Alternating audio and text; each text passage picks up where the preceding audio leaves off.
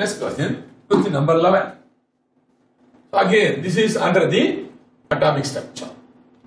Splitting of spectral line under the influence of magnetic field is called the Stark effect, Zeeman effect, photoelectric effect, and none of them.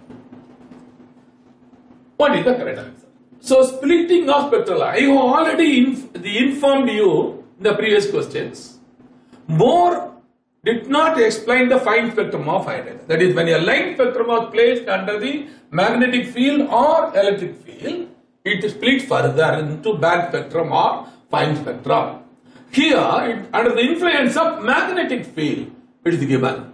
So, magnetic field, it is called Zeeman effect. Kindly follow. Electric field, it is called Stark effect. So, correct answer is Zeeman effect. The splitting of a spectral line takes place in a strong magnetic field. The effect is due to the distortion of electron orbital because of the magnetic field. This effect is called Zeeman effect. Okay. Correct answer is Zeeman effect.